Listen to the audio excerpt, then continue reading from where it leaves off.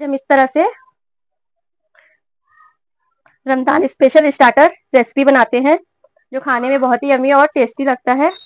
चलिए तो फिर हम इस तरह से समोसा लॉलीपॉप बनाना स्टार्ट करते हैं। वालेकुम माय यूट्यूब फैमिली कैसे आप सब? उम्मीद होगी आप सब ठीक मैं बिल्कुल ठीक आप सबका चैनल पर स्वागत है। सादिका नूरैन किचन में आज की रेसिपी मैं आपके साथ शेयर करूँगी। रमज़ान स्पेशल स्टार्टर रेसिपी हम बनाएँगे आज। समोसा लॉलीपॉप जिसके लिए मैंने यहाँ पे एक कप मैंने यहाँ पे देख सकते हैं, मैंने यहाँ पे मैदा लिया हुआ है। और मैंने यहाँ पे हाफ़ टेबल स्पून के करीब मैंने अजवाइन लिया हुआ है, नमक हम स्वाद अनुसार डालेंगे अब हम यहाँ पे दो चम्मच के करीब रिफाइन ऑयल डाल देंगे।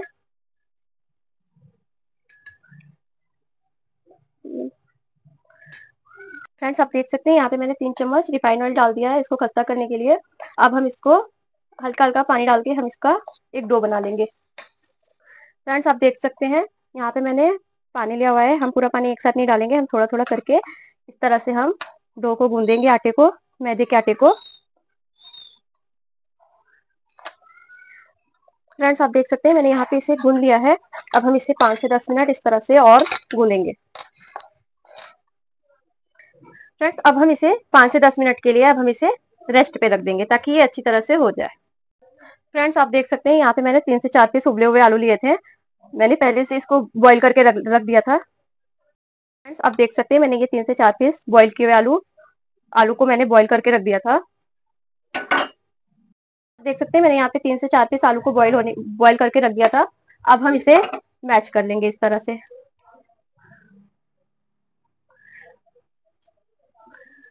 देख सकते हैं मैंने यहाँ पे आलू को बहुत अच्छी तरह से मैच कर लिया है। चलिए फिर हम इसकी स्टफिंग बना लेते हैं।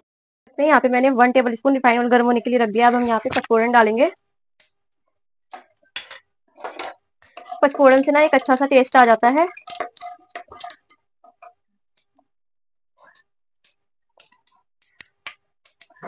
अब देख सकते हैं, पचफोरन चिटिक चुका है। अब हम इसमें कटे हुए काजू डाल देंगे। यहाँ पे मैंने 10 से 12 पीस काजू लिए थे। मैंने इसको बारीक कट कर दिया है।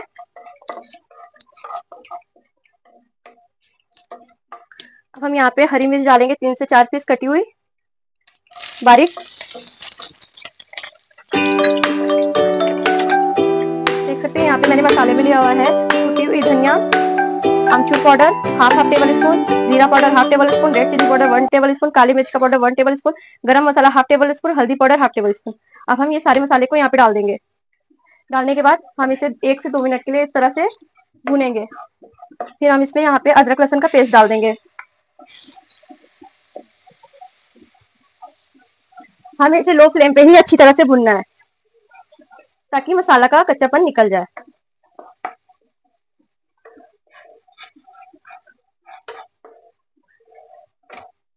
यहाँ पे नमक डालेंगे स्वाद अनुसार क्योंकि मैंने पहले भी नमक का यूज़ किया हुआ है तो हम इसमें थोड़ा कम ही डालेंगे, ज़्यादा नहीं डालेंगे। अब हम, ये आप देख सकते हैं, मसाला अच्छी तरह से भून चुका है। अब हम इसमें आलू की मैच की हुई स्टफिंग डाल देंगे। इस तरह से डाल के हम इसको अच्छी तरह से मैच करेंगे। फ्रेंड्स आप देख सकते हैं, मैंने इसे बहुत ही अच्छी तरह से मिक्स कर दिया है। अब हम गैस की फ्लेम को ऑफ़ कर देंगे।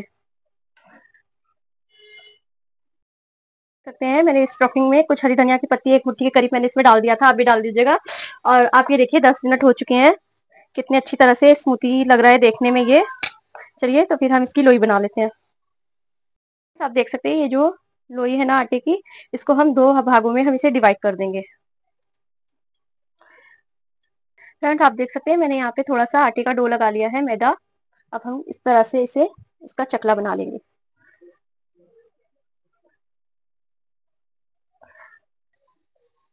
फ्रेंड्स, अब हम इस तरह से इसकी बड़ी सी चपाती बेल करके रेडी कर लेंगे। हम इस तरह से इसको बेल लेंगे बड़ा सा चपाती। यहाँ पे मैंने एक चपाती बेल ली है, अब हम इसको किसी ढक्कन से कट कर देंगे। ये देखिए, ये कितनी अच्छी तरह से कट हो गया है। फ्रेंड्स, आप देख सकते हैं, मैंने यहाँ पे एक रोटी का, रोटी की तरह मैंने इसे गोल गोल पूड़िया की तरह मैंने इसे कट कर लिया है। इसी तरह से हम बाकी भी काट करके चपाती बना करके काट करके रख लेंगे। फ्रेंड्स, आप देख सकते हैं, मैंने यहाँ पे एक ब्रश में पानी लगा लिया है। अब हम इसको इस तरह से पानी को फैला देंगे। ये देखिए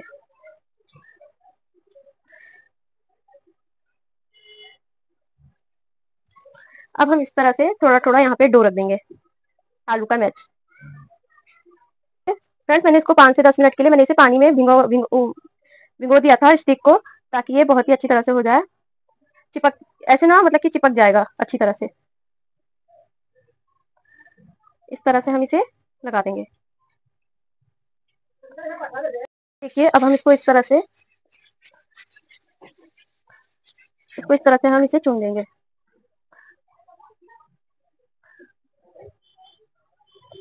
और हम इसे अच्छी तरह से यहाँ पे इस तरह से चिपका देंगे इसे। ये देखिए, ये कितनी अच्छी तरह से हो गया है। बाकी भी हम इसी तरह से बनाते हैं।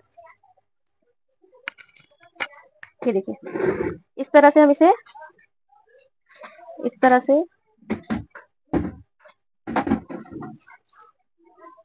मैंने यहाँ पे इसे चिपका दिया। बाकी भी हम इसी तरह से बना लेंगे लालीपॉप कहते मैंने समोसा लालीपॉप बना करके रेडी कर लिया। है देखिए कितनी अच्छी तरह से बना है। चलिए फिर हम इसे फ्राई कर लेते हैं। फिर रिफाइंड ऑयल गर्म होने के लिए रख दिया है। फिर रिफाइंड ऑयल अच्छी तरह से गर्म हो गया है। अब हम इसे फ्राई कर देते हैं। तो कलर कितना अच्छा हुआ है। इसी तरह हम सारे लालीपॉप समोसे को फ्राई कर लेंगे। अब हम इसी तरह से दूसरे राउंड में भी फ्राई कर लेंगे।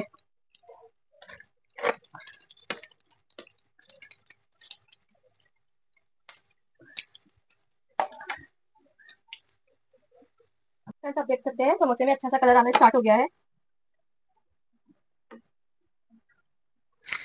इसी तरह से हम सारे समोसे को फ्राई कर लेंगे और बिल्कुल अलट पलट के हम इसे फ्राई करेंगे, ताकि कहीं से भी कच्चा ना रह जाए ये अंदर से।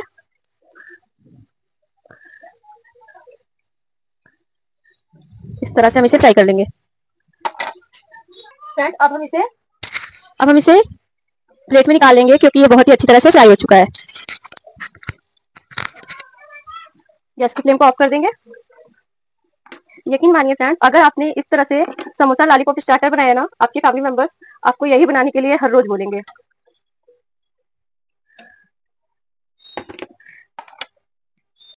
ये समोसा लालीपॉप स्टार्टर की रेसिपी अच्छी लगी हो तो please like share and subscribe लाजमी करिएगा। फ्रेंड्स देखिए कलर कितना अच्छा आया हुआ है। मैं आपको इसको एक खुद तोड़ के दिखाती हूँ, ये देखिए। बिल्कुल बाज़ार जैसे ही खुशबू आ रही है इसकी। अगर आपको ये रेसिपी अच्छी लगी हो please like share and subscribe लाजमी करें आप फैमिली फ्रेंड्स को भी आप शेयर कर सकते हैं अपने व्हाट्सएप इंस्टाग्राम फेसबुक कहीं पर भी। मिलते हैं कल एक नई रेसिपी के साथ। बाय बाय फ्रेंड्स अल्लाह हाफिज।